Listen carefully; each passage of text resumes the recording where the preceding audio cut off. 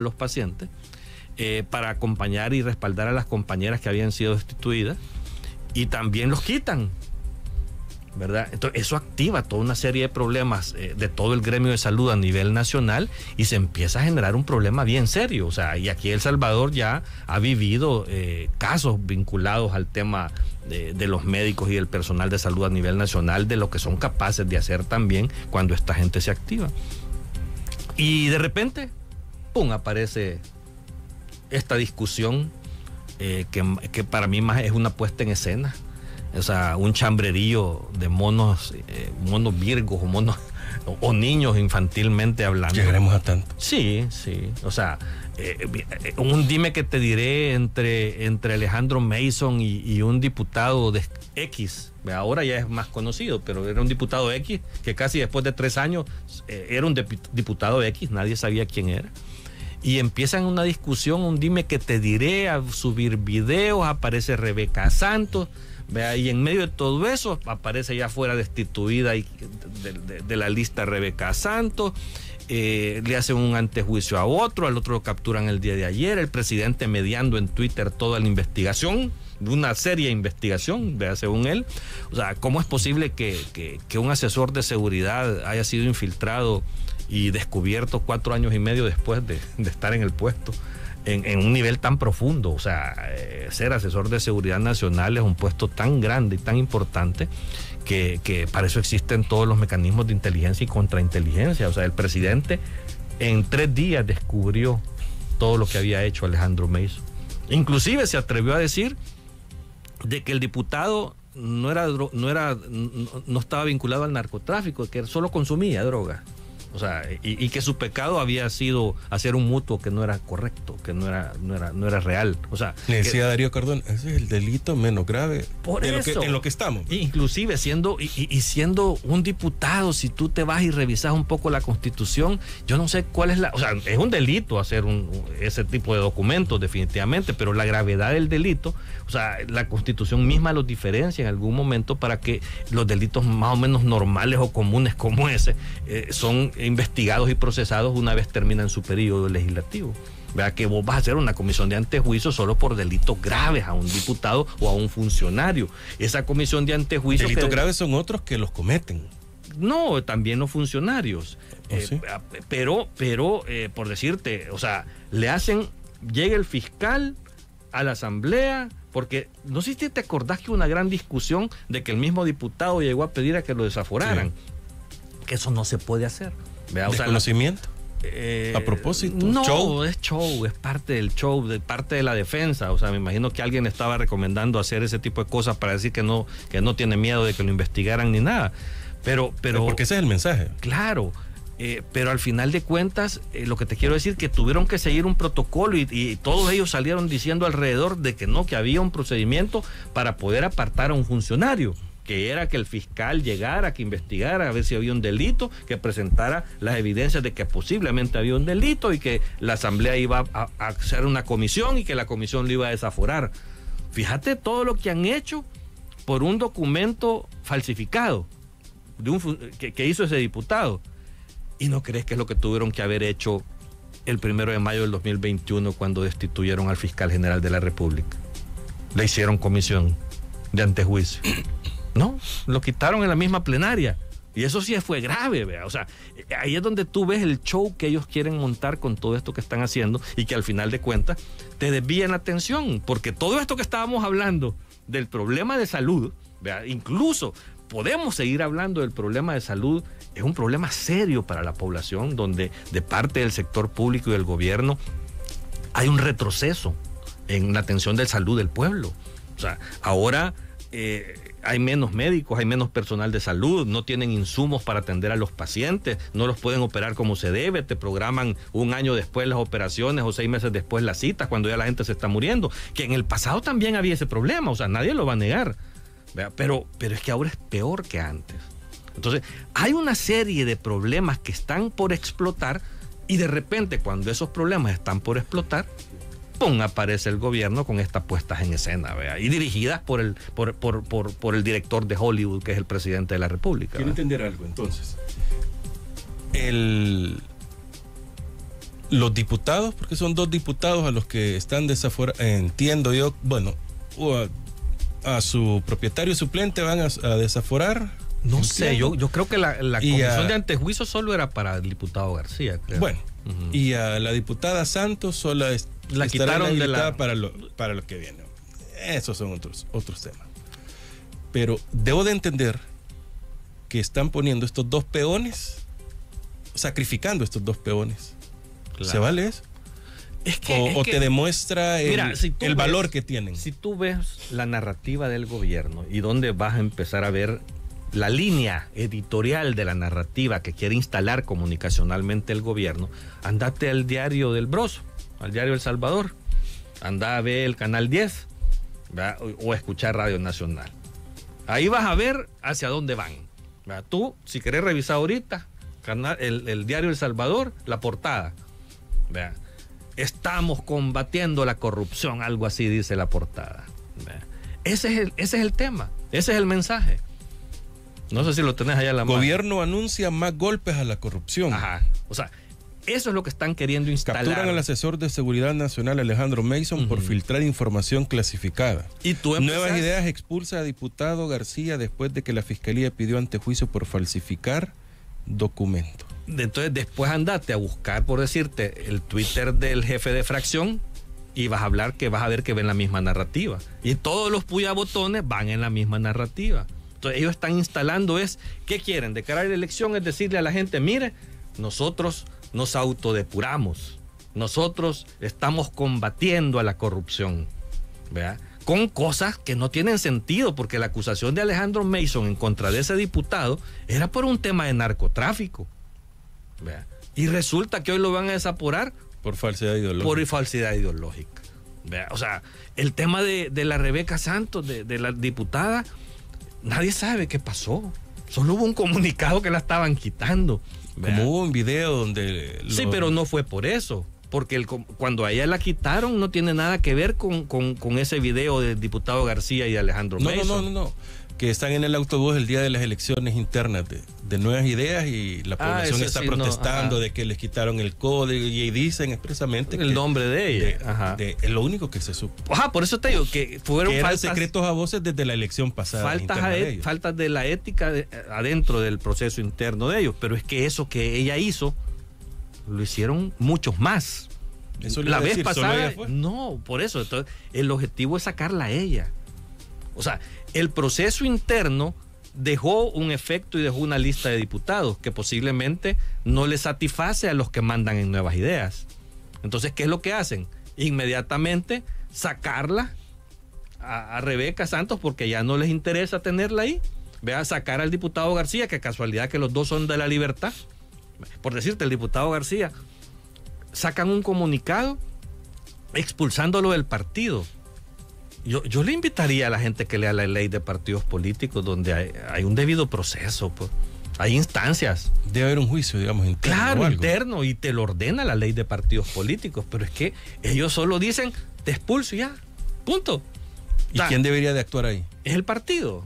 Pues sí, pero como ese, es el, ¿Y el tribunal? Nada. El Tribunal Supremo Electoral no, no, no. Eh, o sea, si hay violaciones a la ley de partidos políticos y a los estatutos de los partidos y que no se cumplen los procedimientos, el diputado podría ir al Tribunal Supremo Electoral. Vea, pero, no va a ir. Pero no va a ir. O sea, esa es, parte del mismo show. Esas cosas no van a suceder. Pero estás viendo esa depuración y de casualidad sacan a dos de la libertad y anuncian el mismo día que suben a otros dos. Vea que eso sí ya les gustan más en la lista. Vea. Eh, entonces, y, y vas a empezar a ver, oíme, anota cuando te lo estoy diciendo vas a empezar a ver otras depuraciones de diputados que ya fueron electos en las primarias de Nuevas Ideas.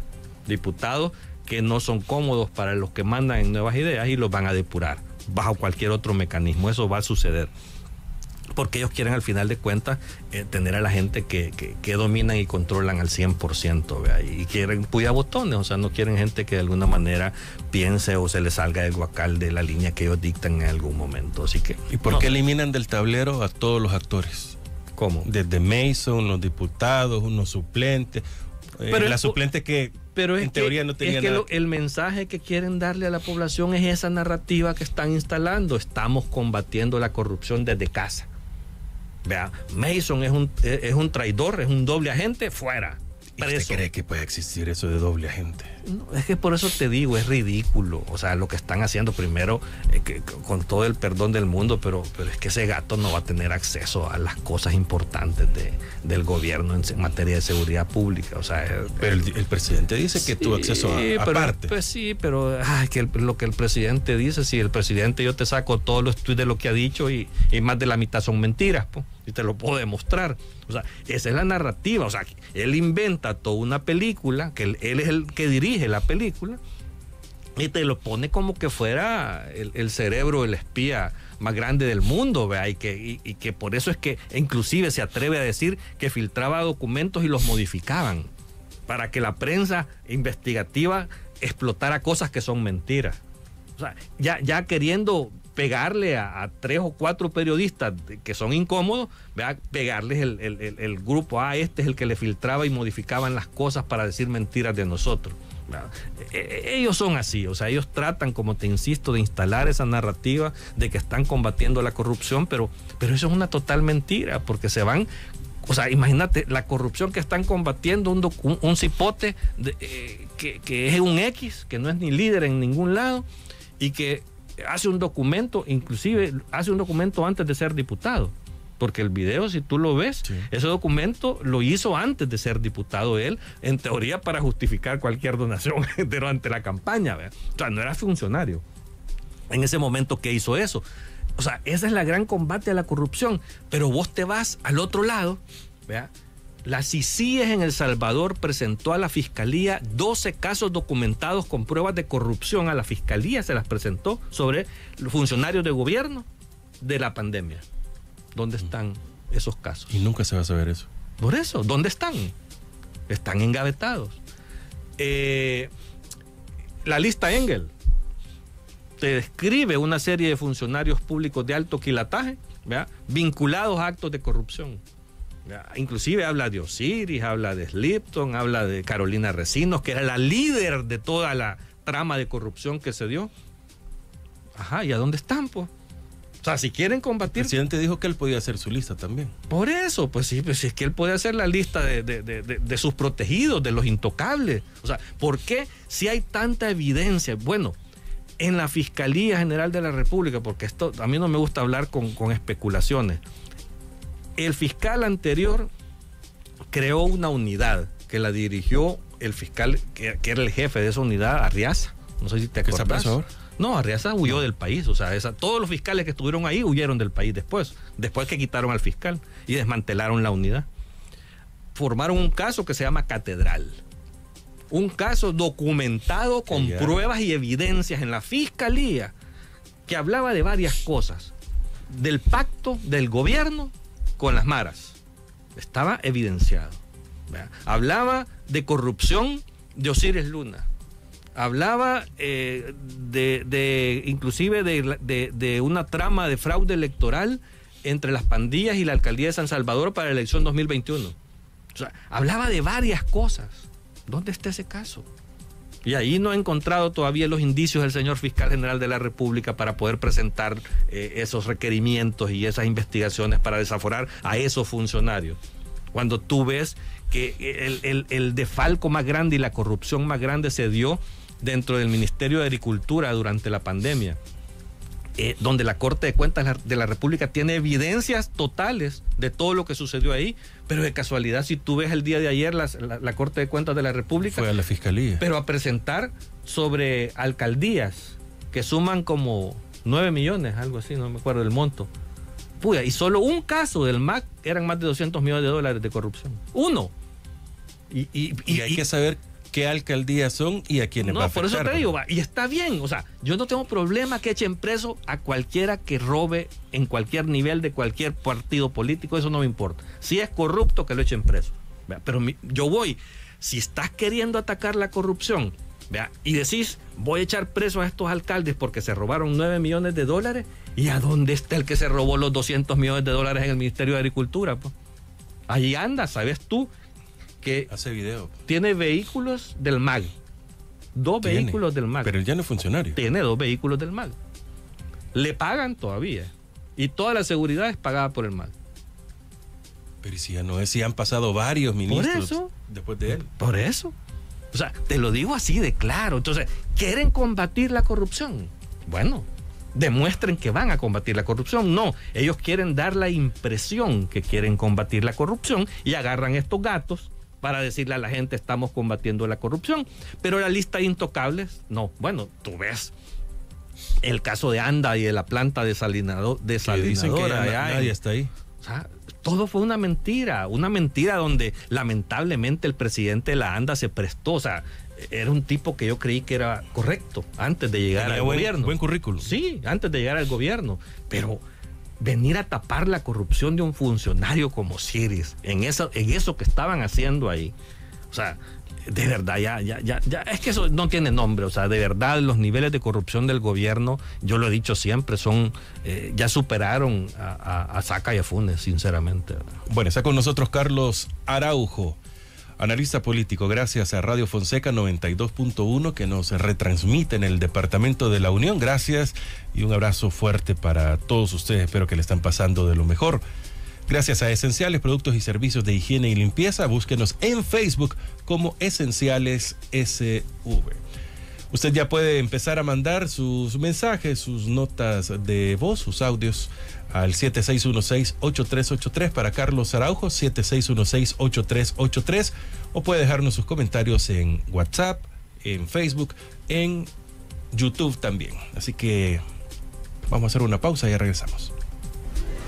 Ya regresamos con Primera Vista, la información de primera mano. Los temas más relevantes en nuestro país, en la voz de los expertos, tendencias digitales, reportes de tráfico y mucho más. A Primera Vista, la revista matutina en el 106.9 FM, de lunes a viernes de 6 a 10 de la mañana. A Primera Vista, la revista matutina en el 106.9 FM. Recupérate. Clínica de Fisioterapia. Ofrece los servicios de evaluación de lesiones, tratamientos de fisioterapias, fortalecimiento de grupos musculares, descargas musculares, masajes relajantes, quiropraxia, osteopatía y más. Haz tu cita al 2262-5501 y el 7875-4131. Búscanos en Instagram como recupérate-sb. Recupérate, unidos por tu bienestar.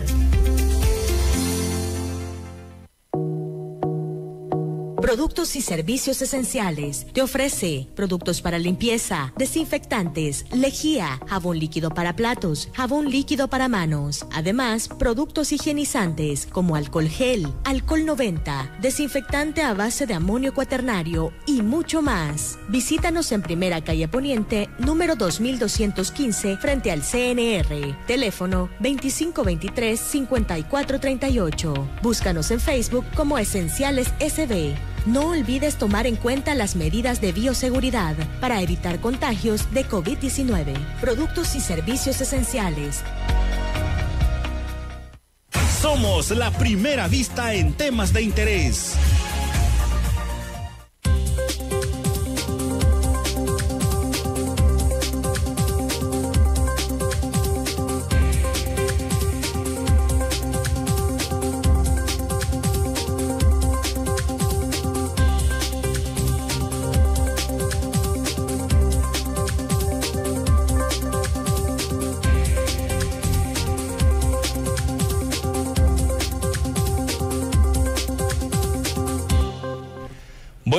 Buenos días. 7 con 36. Carlos Araujo nos acompaña esta mañana en entrevista con Francisco Gómez en 106.9 Radio. Bueno, para irle dando ya eh, fin a la conversación de los que se tiene por, por lo que sucede en la Asamblea eh, Legislativa, actualmente el destino de, de Eric García aún no está desaforado.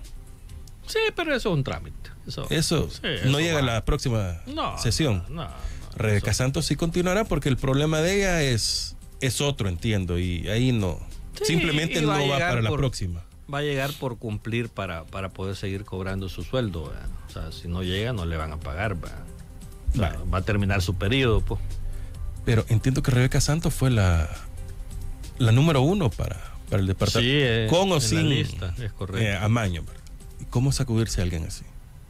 Es que, es que cuando generan tanto no importa problema, que tenga popularidad. Si es que es que popularidad de qué, o sea, si, si, si no sabes con cuántos votos de verdad ganó, pues cuánta gente participó, acuérdate que eso es un tema interno de los partidos políticos, de quienes en teoría iban a votar, o sea, eh, tú te sometes a, a, al respaldo popular cuando vas a una elección general, no, no cuando estás en una interna. Pues. La, inclusive en las internas, por decirte, el más duro de, de, ideológicamente de un partido puede quedar en número uno pero de cara a la población posiblemente quede en último en una elección, pues porque no es lo mismo el voto duro de un partido que la población en general como te ve. Entonces son, son cosas que suceden ahí. Eh, lo que te denota esto es que ella, ella es una tipa ya incómoda para los que mandan en nuevas ideas. Eso es lo que te dice esto. Después de haber sido una persona de confianza, acuérdate que era una persona de las más cercanas de Pablo Anlich en, en el Ministerio de Agricultura. Llega un momento en que los separan porque antes andaban solo juntos y, y, y, ahora esto. O sea, que al final cae en desgracia. Y, y, y, dónde queda el discurso de que ellos no son los mismos de siempre, que van a cambiar la forma de hacer política? O sea, todo lo que vendieron. Pero es lo que están vendiendo ahora. O sea, es que ellos te quieren hacer ver que esto de Rebeca Santos, del diputado García, de Alejandro Mason, todo es parte de que no son los mismos de siempre. Porque ellos sí actúan y ellos sí separan de su partido a todas las manzanas podridas. Ese es el mensaje que te están queriendo vender. ¿Ves la narrativa que quieren instalar desde todos sus medios de propaganda y que, eh, como invierten millones, eh, va a tener un impacto en la población. O sea, aquí está el punto de nuestro lado de, explicarle a la gente de qué se trata esto, ¿vea? porque si de verdad quieren combatir la corrupción, está en otros niveles la corrupción. O sea, no, no son estos tres gatos los corruptos. Los corruptos de verdad están a la par del presidente. Carlos, hay otro tema que no ha tenido mucho ruido y es eh, el acercamiento que ha tenido el gobierno por parte de, la canciller con los Estados Unidos. No especifiquemos qué funcionario específicamente, pero con los Estados Unidos. ¿Qué está, ¿Cuál es el mensaje o qué pasa ahí? Mira, no es la canciller con los Estados Unidos, o sea, es el gobierno aquí, aquí. Eh, todo, toda esa señal la empezaste a ver desde que el embajador actual eh, cambió totalmente su, su, tónica de cómo, de cómo manejarse. Eh, me imagino que estaba con, con, ese silencio que tenía, estaba construyendo un puente eh, para poder tener contacto con el presidente y lo logró. Porque de repente viste una ya reunión con el presidente, cosa que el presidente no se sentaba con ningún embajador de los Estados Unidos. Entonces creo que, creo que es importante su función como diplomático, eh, conversar con, con, el máximo gobernante eh, en el país como tal. Creo que, es correcto lo que hizo el embajador en su momento. Eh, pero hemos visto un cambio, un cambio de discurso, podríamos decir, de los Estados Unidos para con el gobierno, porque antes habían sido bien duros, señalando muchas cosas, hasta señalando que era inconstitucional la reelección. ¿verdad? O hasta ese nivel llegó la embajada de los Estados Unidos en este momento. Y ahora este embajador dice que no se va a meter a opinar de política interna. De repente tú, tú ves a la canciller allá en, en, Washington con el secretario de Estado. Y, eso te demuestra que ha habido un giro en la forma en que están dándole tratamiento a la relación con El Salvador. Eh, yo con los Estados Unidos eh, nunca he tenido ningún problema, creo que es un país eh, dentro de lo que existe en el mundo, con todas las imperfecciones de las democracias y de los desarrollos económicos para los pueblos, creo que, es, un, mejor sistema que muchos en el mundo. Eh, y por eso es que tanto salvadoreño se va para Estados Unidos a tratar de cumplir el sueño americano. Pero tenés que entender una cosa. Eh, Estados Unidos tiene sus intereses y tiene su agenda y tiene derecho. Y para la región los intereses son bien claros se llama migración, en el sentido de que no se vayan salvadoreños para los Estados Unidos, ilegales. El tema del narcotráfico, que es un tema sensible para los Estados Unidos. Eh, eh, son los dos temas fundamentales y el tema de la seguridad en la región como tal, que es un tema que siempre ellos han acompañado como tal. En esa medida, si este gobierno eh, le da buenas señales y buenas vibras al gobierno de los Estados Unidos de que está ayudando a, perseguir esa agenda que a ellos les interesa, pues de alguna manera Estados Unidos se va a sentir un poco satisfecho. Eh, más allá de, que si vivimos o no vivimos en una democracia plena, sea que hay una dictadura como tal, ellos primero tratarán de sacar adelante sus intereses y después verán los salvadoreños, porque, porque a muchos salvadoreños les dicen funcionarios de la Embajada de Estados Unidos, mire, eh, y, ustedes qué están haciendo, pues, o sea, por su país. Porque nos vienen aquí a decir a nosotros que hagamos algo por todo lo que está pasando en El Salvador. Pero ¿y ustedes qué están haciendo? Porque si, si, si de verdad vamos al otro lado, eh, empezamos a ver eh, la oposición política de este país, deja mucho que desear. O sea, la forma de actuar, sus comportamientos, su falta de liderazgo. Pero ¿cómo, pueden haber partes de liderazgo. Ya hay candidatos presidenciales en, varios partidos y esos deben de, entiendo que, son líderes porque no lo van a poner. No, pero es que tener nominar un candidato no significa que sea líder. ¿Cómo, ¿Cómo lo va a poner a alguien que no sea un líder? ¿Cuál es el match? Yo, yo te, yo te pregunto, en el caso, en el caso de Arena, te lo voy a poner el ejemplo más claro. Yo ni siquiera conozco al candidato de Arena, o sea, por lo que he visto, en su perfil personal, como lo han presentado, creo que es una buena persona, creo que es un ejemplo a seguir de alguien que, que, salió adelante luchando como muchos salvadoreños en los Estados Unidos. Yo, yo respeto eso y lo admiro mucho en él. Pero, pero, ¿quién lo conocía en El Salvador? Antes de ser el candidato a Arena. ¿Quién? Nadie. Y eso es ser líder. Es que que te nomine ser un candidato no significa que tú sos un líder. yo no me puedo declarar líder. El liderazgo te lo da la gente a través de una trayectoria pública en el que tú inspiras a los ciudadanos. Y los ciudadanos te siguen porque creen que lo que tú estás diciendo es lo correcto y empiezan a seguirte. Pero eso tenés que vivir aquí en el país y tener una trayectoria de liderazgo público no de empresario nada más. O sea, es que ser un empresario exitoso no significa que sos un líder político, que es al final de cuentas los que van a gobernar. Eh, tú tenés el ejemplo mismo de Nayib Bukele. O sea, Nayib Bukele empezó su carrera pública y política en el 2012 en una alcaldía y empezó a construir una imagen. Y desde el 2012 hasta llegar al 2019 que fue candidato. O sea, hay una trayectoria. Esos, esos son los liderazgos a los que yo me refiero. O sea, no quiero decir que, que, él es un líder bueno, o sea, pero de que es un líder, es un líder, porque al final inspiró a la gente.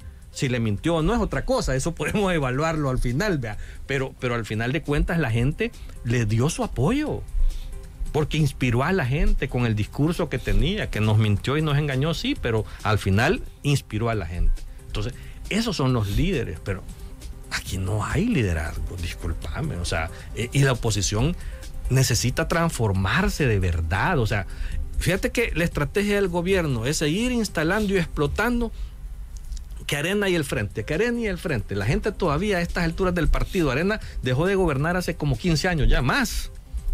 Sí, casi 15 años. ¿vea?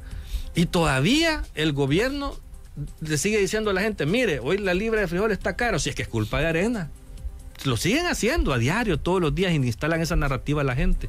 Pero, ¿y si yo soy oposición? ¿Por qué no hago las cosas diferentes para cambiar esa percepción en la población? Pero Arena ha cambiado. No lo sé. Porque si tú vas a las encuestas públicas, no. No es suficiente. No, porque la percepción. porque vemos rostros eh, relativamente nuevos, eh, jóvenes. Es que, es que, con mayor apertura, no sé. No solo son los rostros o sea, en, arena, por decirte, ha habido... Pero y no se habla de que eh, se tiene que cambiar la generación, de que tienen que ceder los espacios, todo eso. Pero es que no solo es un tema de generación, es un tema de qué pienso, de cómo lo defiendo, de qué, cuáles son los intereses que yo voy a seguir defendiendo. Si yo ahora, yo puedo tener, por decirte, 30 eh, años que no viví la guerra de este país, no me importa el tema ideológico y de repente, ¡pum!, aparezco de presidente de Arena pero sigo pensando como la arena de los 80. O sea, aquello, en aquel momento eran otros intereses, eran otras demandas sociales, era otra forma de actuar y comportarse. O sea, estar, estar viviendo en el pasado no te va a ayudar. Sea, es que Mira, los partidos políticos y los políticos tienen que adaptarse a la sociedad, del momento en el que tú estás viviendo. Tú no le podés pedir a la sociedad que se adapte a tu forma de pensar, si, más si naciste hace 40 años. O sea, eso, eso no es así, no funciona de esa forma. Y esa desconexión es lo que hace que tú perdas adeptos y que la gente no te vea como una alternativa. O sea, es que yo no tengo que inventártelo. Mira las encuestas públicas.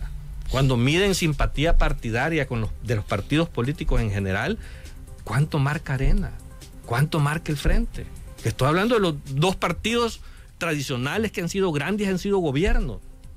O sea, no marcan nada.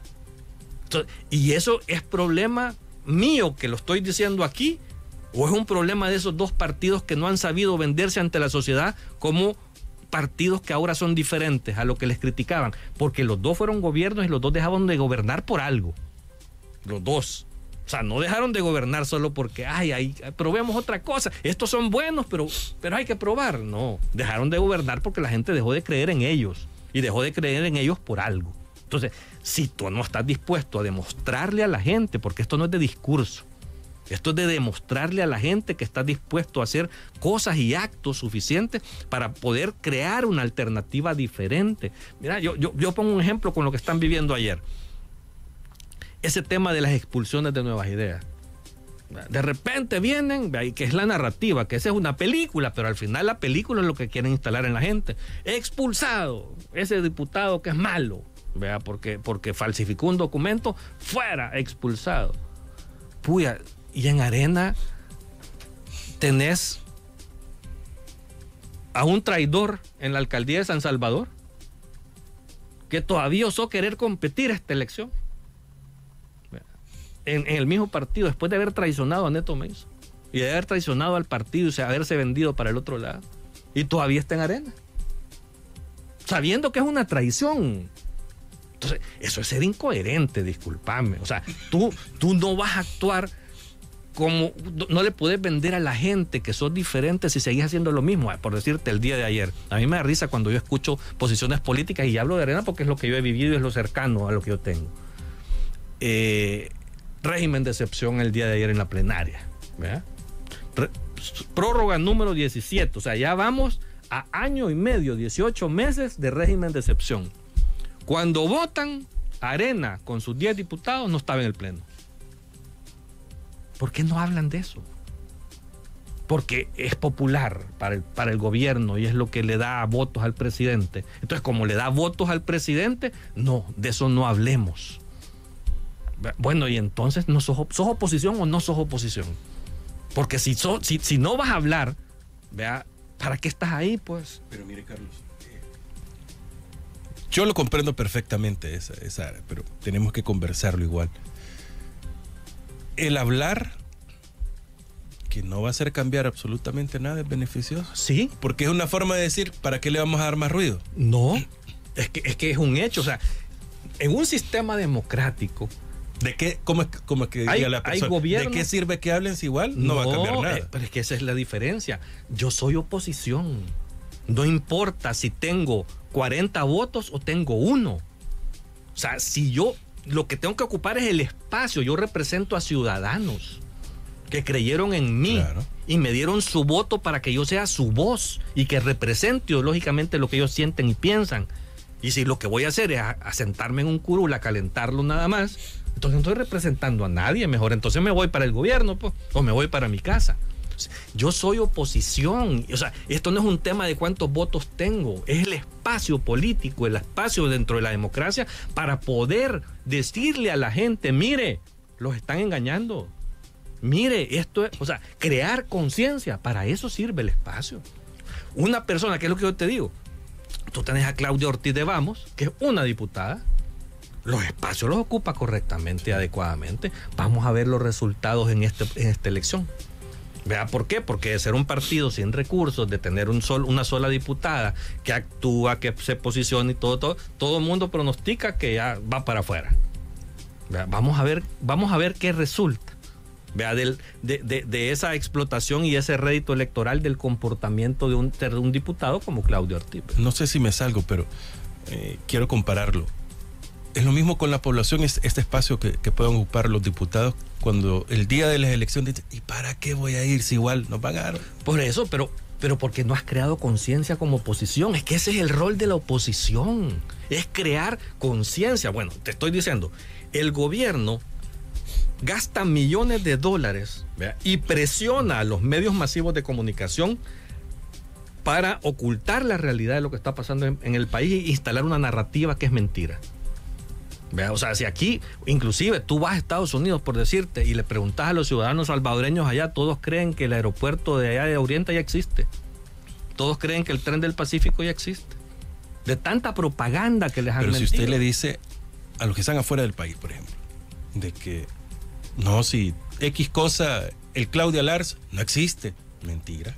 Por y eso. aunque usted le enseñe que no, Pero porque son presas de la propaganda, no, no es que sean tontos, es que, es que ellos están, el nivel de cinismo de este gobierno en, el, en, en hacer propaganda es tan grande que mienten tanto y le meten tanta publicidad a la gente que la gente cree que es cierto todo lo que dicen. Entonces, ese es el rol de la oposición, saber romper ese cerco mediático que este gobierno tiene para poder hacer entender a la gente de que sí hay una responsabilidad de este gobierno con lo que están viviendo. Fíjate, bueno, todos nosotros sabemos, tú lo sabes, yo lo sé, la gente que nos está escuchando lo sabe, de la precaria situación económica que estamos viviendo en los hogares de los salvadoreños en este momento. Pero, ¿cómo es posible de que la gente esté bien fregada y cuando le preguntas, mire, pero ¿y por quién va a votar? Por Bukele, te dicen. La mayoría, pues no todos. hablo las mayorías, en democracias así. Entonces uno dice, bueno, ¿y, y, y por qué? Pues, ¿Y qué pasa ahí? Pues, o sea, me dice que está jodido, pero dice que va a votar por Bukele. ¿Sabes por qué? Porque no le echan la culpa a él. O sea, aquí la gente dice, todo esto, es- esta situación está bien fregada. Ah, pero no es que como es la, es es la guerra de Ucrania con Rusia. Ah, no, no, es que es que es la sequía. Ah, no, no, es que hay una crisis económica en Estados Unidos. ¿y cómo podemos combatir? Porque es una guerra comunicacional Es al final. ¿no? desinformación, es propaganda. Pero si no hay recursos. Bueno. Porque yo creo que si unimos toda la oposición en el recurso para la campaña, no va a ser ni, ni el 25% de la que va a tener el oficialismo, o mucho menos. Es que depende tú cuáles sean tus prioridades a la hora de optimizar los pocos recursos que tenés. Que, que es lo que yo insisto. O sea, yo, yo les digo, aquí hay mucha habla gente- mucho de, de las redes sociales, que esto, que lo otro, pero ¿cuántos jóvenes votan? Que son los que consumen en No, su mayoría pero no, esto. No es cierto. No solo los jóvenes consumen las redes sociales. O sea, no, pero en su mayoría. Ya, no, pero ya hay estudios, o sea, aquí cuando, cuando tú preguntas y haces encuestas de opinión pública y le preguntas a la gente, mire, ¿por qué medios se informa? ¿verdad? de lo que sucede en el país. Ya está a la par las redes sociales de los medios tradicionales, Tradicionales. de la televisión, porque ni siquiera son los medios tradicionales, es la televisión, a la par de las redes sociales.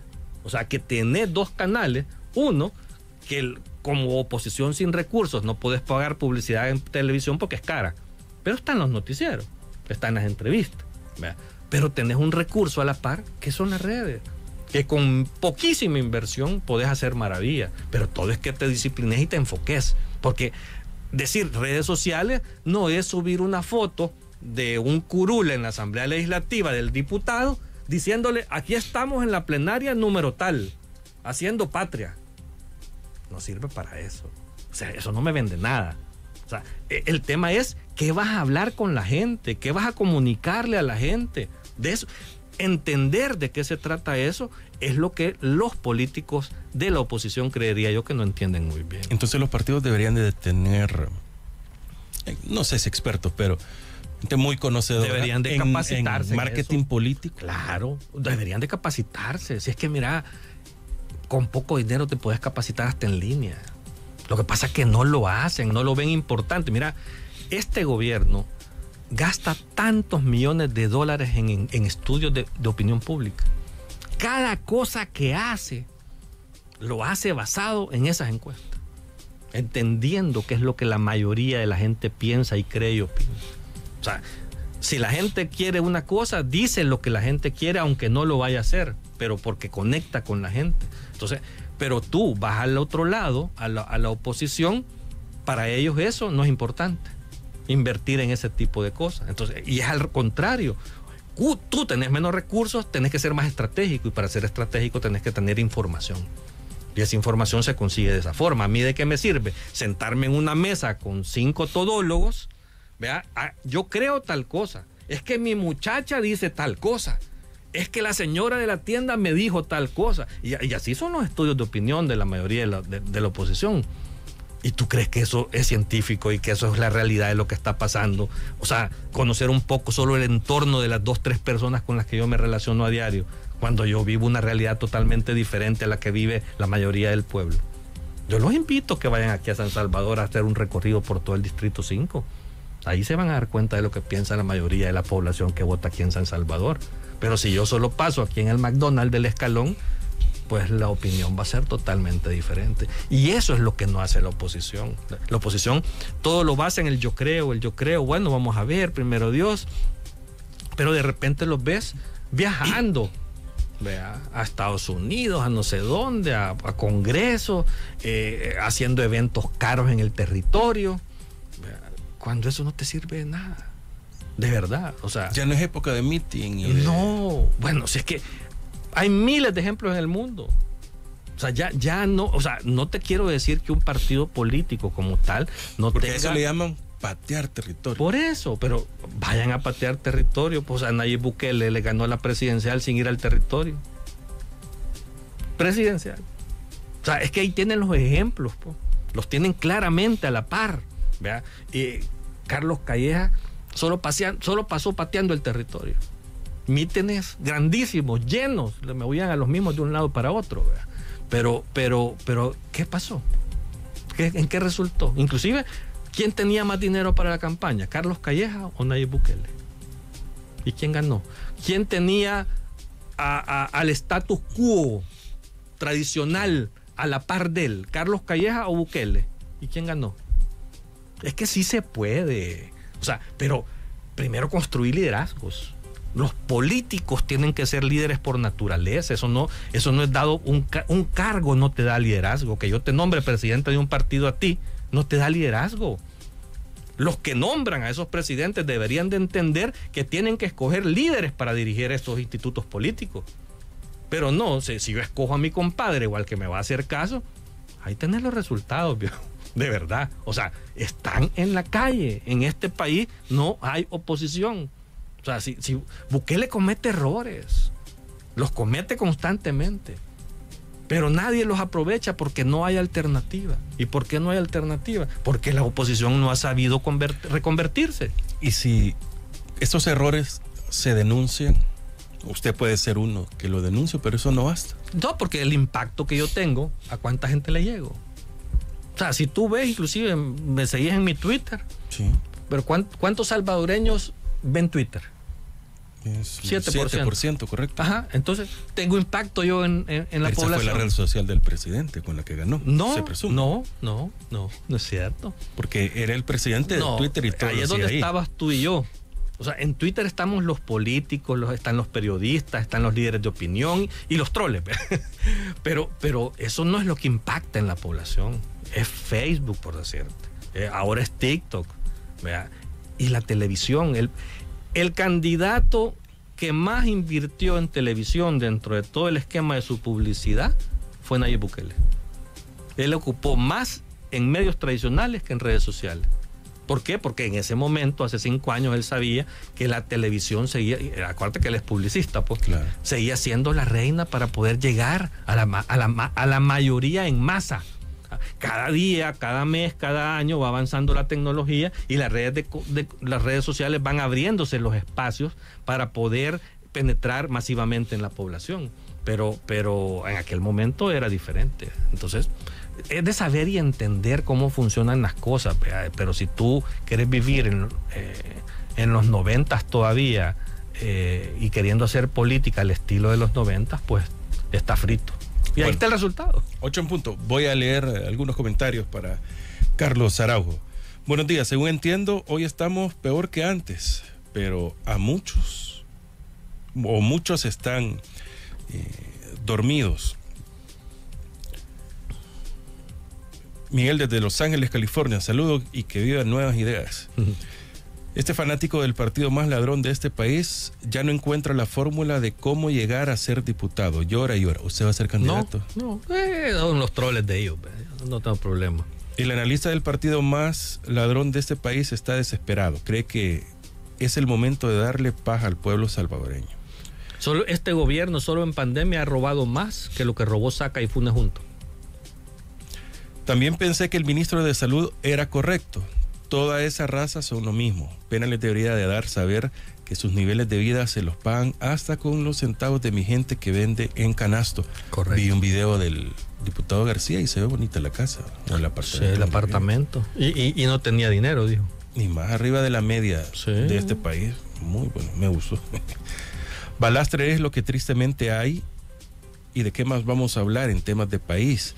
De maquetas en video, ¿querés que hablemos? De las plantas desalinadoras que han dejado tiradas. Saludos. ¿Será que Bukele podría reunirse con Biden? Estamos frente a un narcoestado. Algo que no se ha dicho del diputado Eric es que con nuestro dinero pagaría un préstamo personal disfrazado de salario. Algo que sí admiro del analista es que sí tiene valor de defender el fanatismo del partido más corrupto. Pedro del Salvador, saludos. Fuera nuevas ideas. No me parece cómo quieren instalar el tema del partido más corrupto. O sea, y es lo que te explico. Está más que probado que este gobierno ha robado más que los dos gobiernos más corruptos que hubieron antes. El dictador es lo peor que nos ha pasado o que nos pasó. El gran circo de Cepillín, donde cada semana se estrena un show.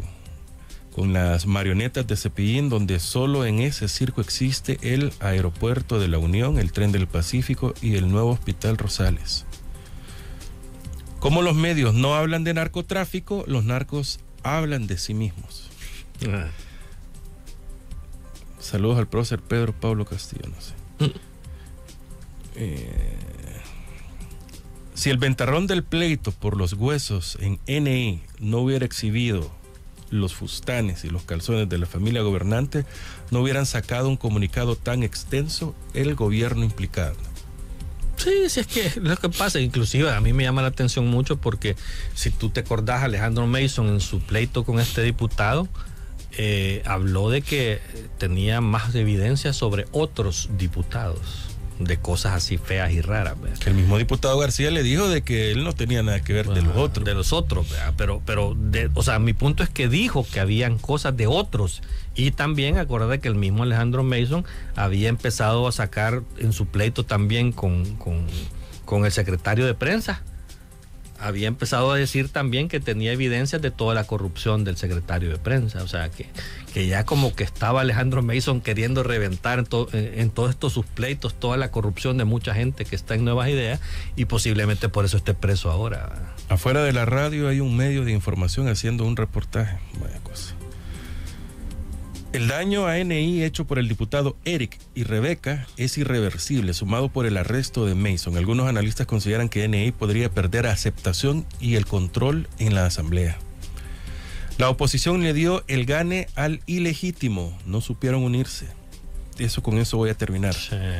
Eh, buenos días Francisco, excelente invitado. Felicito al expositor. Saludos desde Santo Tomás. Saludos Fran. Si Bukele ganó con casi 45 mil votos en las elecciones internas, ¿con cuántos votos fue elegido Joel Sánchez en las internas de Arena? No llegó ni a 8 mil, dicen. El pueblo no quiere gente negativa como Claudio Ortiz, que dices tú que ocupa su curul correctamente. Los Estados Unidos le dice a sus connacionales que no vayan a El Salvador. Sí, todavía había una alerta de viaje. Buenos días, Francisco. Un saludo a don Carlos Araujo. Está muy caliente ese tema. Quisiera que buscara una entrevista con César Fuentes. Mm. ¿Quién? No sé quién es. Tiene un programa, César Fuentes. Mire, Francisco y Rebeca Santos sale hablando cómo arreglar un papel muy importante. Don Carlos Araujo, así tiene que hablar, así tiene que hablar los programas en otro programa. Saludos desde California. Aquí tengo un par más. La peor tragedia de un país es poner. ah, eh. La peor tragedia de un país. Bueno, no, eso ya no. Carlos. eh, ¿Qué pasa con.? Bueno, el tribunal anunció de que eh, se acababa el periodo para las, para Las hacer coaliciones coaliciones. presidenciales y de diputados. Amén al resultado, ¿cuál es la lectura que se da? Es Que se hablaba mucho de que se tenían que unir. Sí, pero es que mira, o sea, eh, no, no, o sea, tratar de, de ser una oposición que compita con Bukele no pasa necesariamente por, por una alianza de toda la oposición. O sea, bastaría con que en uno de cualquiera de los partidos de oposición exista un líder de verdad y, ya. O sea, lo importante no era la alianza. Lo importante es el liderazgo. Y ese liderazgo no está. No está latente, no está presente. Yo no sé si te lo dije ya en algún programa que he venido antes, pero lo he repetido en muchos lados. Yo creo que es un error estratégico de la oposición en general. Eh, Error estratégico. Sí, querer, están, están desgastándose en la cancha incorrecta. Porque eh, están queriendo, sin liderazgos, competir en una cancha de la elección presidencial. Y esa no es la cancha. Porque no hay liderazgos. Si los hubieran, estuviéramos hablando de otras cosas. Eh, creo que la oposición tuvo que haberse enfocado de verdad en la elección de diputados. Creo que era la clave. Incluso si tú te acordás, eh, en el, do- el presidente entre el 2019 y 2021 eh, no tuvo una, una asamblea favorable. ¿vea? Y no pudo hacer las locuras que hizo después del 2021. pues.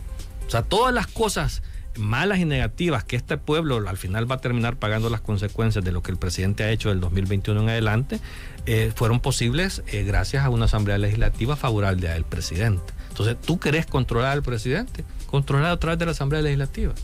Vea, y creo que los diputados puya botones, inclusive es más fácil vencerlos. O sea, porque algo que tenés que aceptar es una realidad, no es que yo lo quiera o que yo, o que yo quiera hacerle propaganda.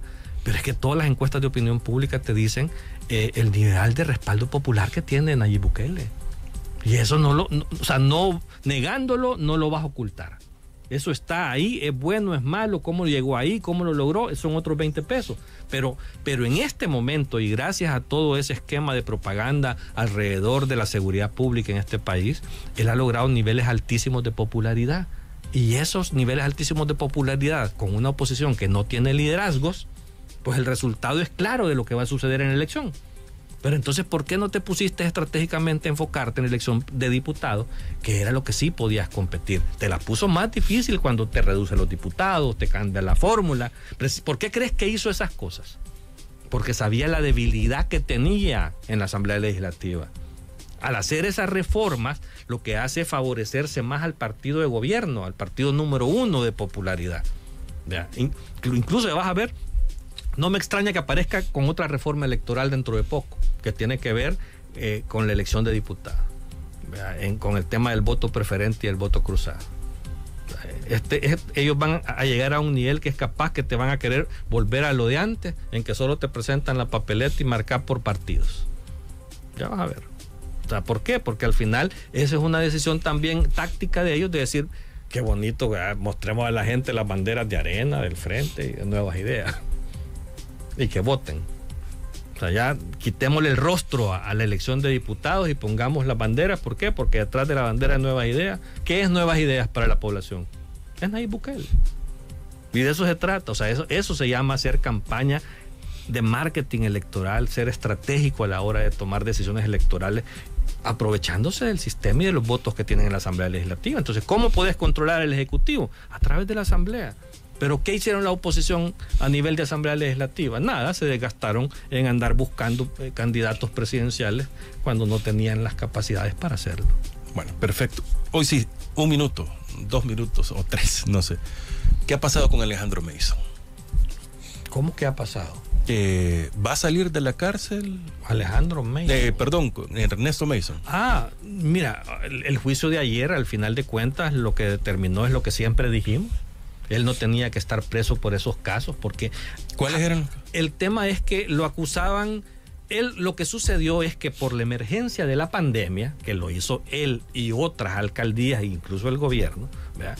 Eh, a la gente de la, a la gente de la alcaldía, no, se le su salario, cuando tú te, te pagan tu salario en la Sí. alcaldía, ahí te descuentan la renta, las AFP, el seguro social, si tenés algún préstamo en algún lugar, te- todos esos descuentos. Entonces, ellos te pagaban el salario, pero todas esas retenciones en lugar de mandarlas a Hacienda, a la AFP, al seguro, al banco, no las pagaban, no las hicieron. Pero no las hicieron no porque agarraron el dinero y se lo metieron a la bolsa y se lo llevaron y se lo robaron, sino que por la emergencia, como les habían quitado el FODES, no había dinero, habían gastado en otras cosas, empezaron a ocupar los recursos de la alcaldía en otras cosas. Entonces, ese dinero que tenían que haberlo eh, mandado a dejar a donde había que mandarlo a dejar, lo ocuparon en otras cosas en el momento. Y eso es por lo que les acusan de, eh, de, haber, eh, no me acuerdo cómo se llama el delito de ese tipo, pero, pero, pero no es robo, o sea, no se lo habían robado es cierto que hay delitos ahí, pero son delitos que son escarcelables, son delitos que te pueden inclusive procesar en libertad. Hay ejemplos, muchísimos ejemplos de alcaldes que han pasado por eso y que están en su casa siendo procesados. O sea, nunca debió estar preso. El día de ayer te lo confirma. El juez, el juzgado de instrucción creo que fue, dijo, no, ya está, la alcaldía ya pagó. O sea, la alcaldía de San Salvador ya pagó todo, entonces llevaron los documentos del Ministerio de Hacienda, donde la alcaldía ya había pagado todo eso que ellos no habían pagado, entonces ya no hay delito que perseguir.